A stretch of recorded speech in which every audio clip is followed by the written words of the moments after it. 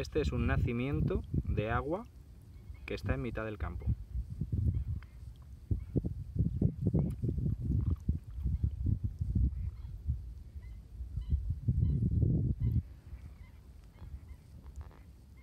El agua brota naturalmente del suelo.